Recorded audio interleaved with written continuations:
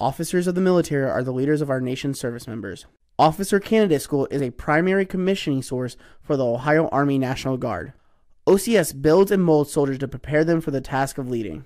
The Ohio Army National Guard OCS program allows soldiers to test and strengthen their capabilities as they train to become leaders. OCS is a primary commissioning source for soldiers in the Ohio Army National Guard who are interested in becoming officers.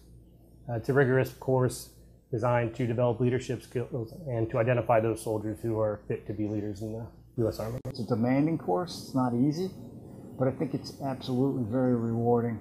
And uh, I would highly encourage all leaders to take a, take a deep look and, and think about pursuing a career like that.